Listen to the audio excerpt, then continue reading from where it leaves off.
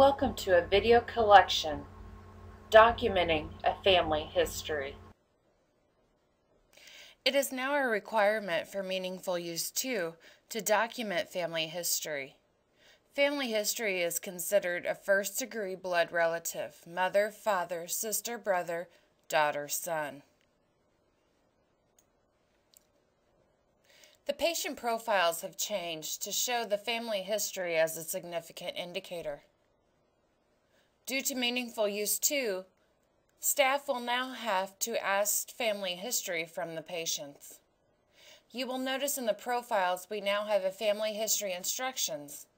This is to help remind the nurse that family history is only needed for first degree blood relatives, and it suggests conditions to document.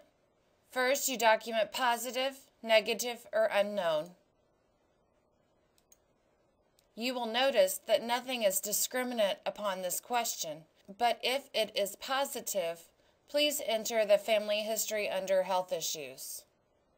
Select the icon. On the left, select family history. Click on full catalog search. And for example, my father has hypertension. And search family history of hypertension and add.